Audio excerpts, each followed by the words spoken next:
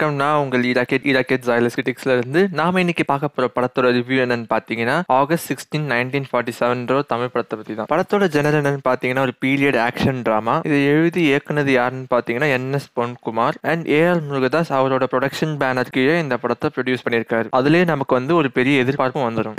பொறுத்து பொறுத்து நாமெல்லாம் செத்த பிறந்தா தான் சுதந்திரம் கிடைக்கும் போல. படத்தோட கதை என்னன்னு பார்த்தீங்கன்னா சுதந்திரத்துக்கு மூணு நாள் முன்னாடி நடக்கிற கதையை அமைச்சிருக்காங்க. அண்ட் இது வந்துட்டு செங்காடுன்னு ஒரு கிராமத்தை சுற்றி மலை பகுதியாக இருக்குது அண்ட் இதோட என்ட்ரி பார்த்தீங்கன்னா ரொம்பவே கஷ்டம். ஸோ அந்த செங்காடை வந்து பார்த்தீங்கன்னா ஒரு பிரிட்டிஷ் ஜென்ரல் ராபர்ட் கிளைவும் அவரோட பையனும் கண்ட்ரோலில் வச்சுருக்காங்க. கண்ட்ரோல்னால் சாதாரண கண்ட்ரோல் கொக்கமாக்கா எண்ணெய் சட்டியில் போட்டு டார்ச்சர் பண்ணுறது இல்லை கூர்ப்பான இதை வச்சு தலையில் சொருவுறதுன்ட்டு படுபயங்கரமாக பண்ணிட்டு இருப்பாங்க ஸோ அந்த மக்களுக்கு வந்துட்டு நிஜமாலே சுதந்திரம் கிடைச்ச நாளில் அவங்களுக்கு உண்மையிலேயே சுதந்திரம் கிடைச்சதா? இல்லை அதுக்கப்புறமா எப்படி அவங்களுக்கு அது வந்துட்டு தெரிஞ்சது? அப்படிங்கிறதுலாம் தான் படத்தோட கதை. பயம் பயம் பயம்.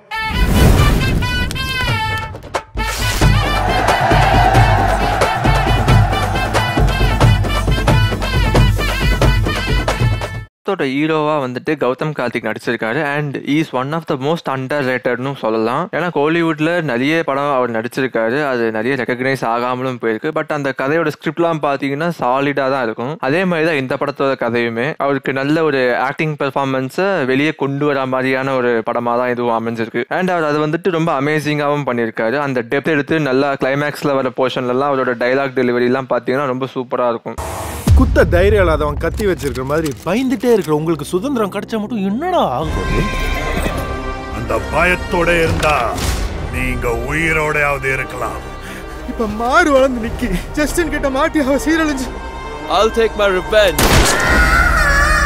பெத்த பொண்ண புதைச்சி கொண்டுட்டு அதை நினைச்சு நினைச்சு பொணமா வாழ்றதுக்கு ஒரு தடையாவது அவங்கள அடிச்சு கொண்டுட்டு சாவுங்க. படத்தோட ஹீரோயின் பார்த்தீங்கன்னா ரேவதி சர்மா நடிச்சிருக்காங்க. அவங்க ரொம்ப கியூட்டா சாமிங்கா ஒரு இன்னோசென்ட் ஃபேஸோட படத்துல அங்கங்க சின்ன ஸ்கிரீன் ஸ்பேஸா இருந்தாலும் நல்லா டீசென்ட்டா அழகா நடிச்சு கொடுத்துட்டு போயிட்டாங்க. அண்ட் இதுல ஒரு அவுட் ஆஃப் சிலபஸ் கேரக்டர் பார்த்தீங்கன்னா நம்ம விஜய் டிவி புகழ்னு தான் சொல்ல முடியும். இதுல பார்த்தீங்கன்னா காமெடி என்னமோ சும்மா ஒரு ரெண்டு டைலாக் மூணு டைலாக் ஆனா ஒரு சீரியஸான கேரக்டரா அதுவும் அவருக்கு வந்து சுதந்திரம் கிடைச்சிருச்சுங்கிற ஒரு விஷயம் தெரிஞ்சிட்ட உடனே அவரோட நாக்கை வந்து வெட்டிடுவாங்க. அதுக்கப்புறம் அவர் வந்துட்டு அந்த ஊர் மக்கள் கிட்ட எப்படி அதை வந்துட்டு கன்வே பண்ணணுன்றதுக்கு என்னென்னமோ ட்ரை பண்ணுவார். அந்த சீன்லாம் பார்த்தீங்கன்னா சூப்பராக இருக்கும். கடைசியில் கிளைமேக்ஸில் அது தெரிய வரப்போ அந்த ஐப்பில் வந்துட்டு அவர் கொடுக்குற ஒரு ஆக்ட் இருக்கு பார்த்தீங்களா அது ரொம்ப செமையா ஒரு எமோஷனல் டச்சோட கனெக்ட் பண்ணியிருப்பாங்க. சூப்பராக நடிச்சிருப்பாரு.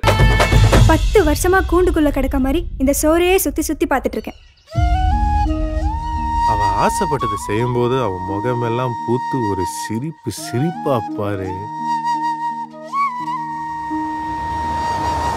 படத்துல மற்ற கேரக்டர்னு பார்த்தீங்கன்னா மதுசூதன் ராவ் நடிச்சிருப்பாரு. அதுக்கப்புறமா அந்த வில்லேஜ் கேரக்டர்ல வரவங்கலாம் வந்து பார்த்தீங்கன்னா அவங்க அவங்க ஒரு சில டைலாக் டெலிவரிலாம் இருக்கும். அதெல்லாம் வந்து ரொம்ப அழகா பண்ணியிருப்பாங்க அண்ட் அதை வந்துட்டு கொஞ்சம் அங்கங்க சில கிளம்சினஸ் இருந்தாலும் ஓவரால் பார்க்குறப்போ அந்த கேஆஸ் அந்த பரபரப்பு அதெல்லாம் ரொம்ப அழகாவே எல்லா கேரக்டர்ஸும் போர்ட்ரை பண்ணியிருப்பாங்க அந்த பயத்தோட இருந்தா நீங்க உயிரோடையாவது இருக்கலாம்.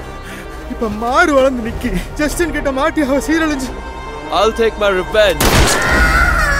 படத்துல ராபர்ட் கிளைவ்ன்ற கேரக்டர் தாங்க ரொம்ப கொடூரம். அதை வந்துட்டு ரிச்சர்ட் ஆஸ்டன் நடிச்சிருக்காரு. அதுவும் அவர் வந்து ரொம்ப பெர்ஃபெக்டா ஒரு பிரிட்டிஷ் ஜெனரல்னா இப்படிதான் இருப்பாங்க. ஒரு டைரண்டான ஒரு கேரக்டர் அப்படிங்கறத செமையா டெரிஃபிக்கா பங்கம் பண்ணிருப்பாருங்க அதுவும் ஒரு ஒரு சீன்லாம் ஒவ்வொரு வில்லேஜ்ல வந்துட்டு டார்ச்சர் பண்றப்போ அந்த என்ஜாய் பண்ற ஃபேஸ காட்டிட்டு பார்க்கற நமக்கு பயம் வருங்க. அந்த மாதிரி நடிச்சிருப்பாரு. யார் மேல நான் காலை வைக்கிறேன்? It's an emergency. படத்தில் லேக்னு பார்த்தீங்கன்னா பெருசாக எதுவும் இருக்காதுங்க. ஆனால் இவங்க ரொமான்ஸ்க்குன்னு கொடுக்குற போர்ஷன் பார்த்தீங்கன்னா நமக்கு ஒரு சின்ன லேக் மாதிரி தான் தெரியும். ஏன்னா படத்தோட சாலிட் கண்டென்ட் அந்த மாதிரி. ஒரு ஃப்ரீடம் ஸ்ட்ரகிள் அதே சமயத்தில் அந்த பரபரப்பு. There is too much at stake so நம்ம ரொமான்ஸ்ன்னு பார்க்குறப்போ நமக்கு அதில் வந்துட்டு ஈடுபாடு காட்ட தோணாது. பட் ஸ்டில் நமக்குள்ள அந்த ஃபயரை வந்துட்டு டக்குன்னு கொண்டு வந்துருவாங்க. லைக் சில டைலாக் சீன்ஸ் எல்லாம் பார்த்தீங்கன்னா நமக்கு சுதந்திரம் கிடைச்சிருச்சா அப்படிங்கிறத வந்துட்டு ஒரு வில்லேஜர் எக்ஸ்பிரஸ் பண்ணுவாரு. அது நமக்கு பார்க்குறப்பவே ரொம்ப நெகிழ்ச்சியா இருக்கும்.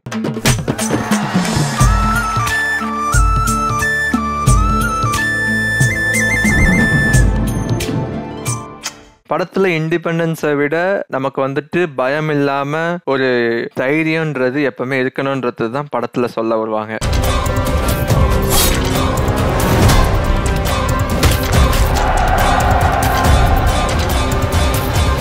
So overall August sixteen nineteen forty seven பார்த்தீங்கன்னா ஒரு சர்ப்ரைஸ்ன்னு தாங்க சொல்லணும். ஏன்னா படத்தோட போஸ்டரோ ட்ரெய்லரோ வந்தப்போ கூட இவ்வளோ ஐப் இல்லை. அது படம் வந்த அப்புறம் கூட வந்துட்டு சிம்பிளாக தான் போயிட்டு இருந்துச்சு. பட் அதோட அவுட்கம் பார்த்தீங்கன்னா ரொம்ப பயங்கரமாகவே இருந்துச்சு. படத்தோட ஐடியாலஜியே பார்த்தீங்கன்னா நல்லா இருக்கும். அதாவது சுதந்திரத்தை பற்றி காட்டாமல் ஒருவேளை சுதந்திரம் கிடைச்சது சில ஊருக்கு தெரியாமலே இருந்து அதை பிரிட்டிஷர் செல்ஃப் யூஸ் பண்ணிக்கிட்டாங்கன்னா எப்படி இருக்கும்? அப்படிங்கிற ஒரு ஐடியாலஜியே சூப்பராக இருக்குங்க. அங்கங்கே ஸ்க்ரீன் பிளேயில் லேக் இருக்க தான் செய்யும். பட் ஸ்டில் அதை வந்துட்டு கோப் அப் பண்ணிடுவாங்க. நமக்குள்ள வந்துட்டு இண்டிபெண்டன்ஸோட அந்த எமோஷனா இருக்கட்டும் இல்ல அந்த ரெவல்யூஷன் தாட்டை வந்து கிளைமேக்ஸ்ல ஓப்பன் அப் பண்றதா இருக்கட்டும் அதெல்லாம் வந்துட்டு நல்லா நீட்டா போர்ட்ரே பண்ணிட்டு அதுக்கப்புறமா கேஸ்ட் பெர்ஃபார்மன்ஸும் வந்துட்டு ரொம்ப நல்லாவே கொடுத்துருப்பாங்க.